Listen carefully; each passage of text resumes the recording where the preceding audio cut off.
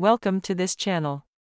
In this short video, we will talk about Ashman phenomenon.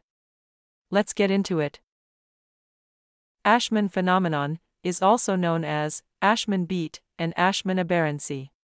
This phenomenon is mainly of academic interest because clinically it is not symptomatic on its own and there is no treatment for it. But anyway, it is good to know.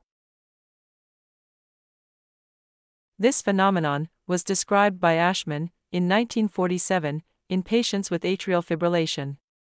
This phenomenon was detected when a relatively long cycle or RR interval in ECG was followed by a relatively short cycle or RR interval. The QRS complex with a short cycle often has right bundle branch block morphology. What is its mechanism? As you may know, that the refractory period of the His-Purkinje system is proportional to the R-R interval of the preceding beat. So, when two beats are separated by a long RR interval, the subsequent refractory period will be relatively long. During this long refractory period, if a premature supraventricular stimulus occurs, whilst the His-Purkinje system is still refractory, then the conducted beat will appear abnormal.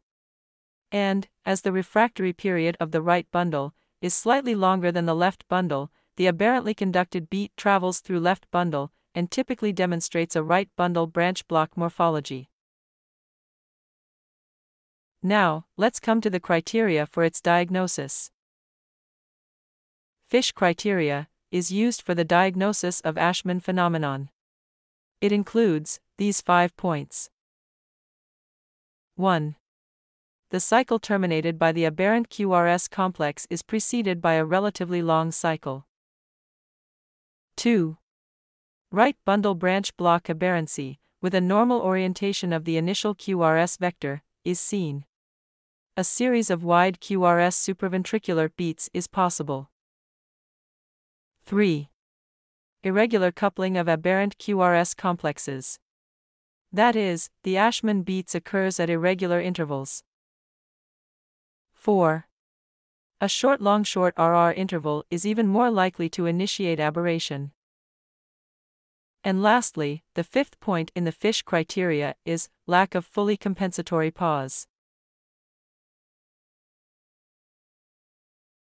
And, this is it for this video.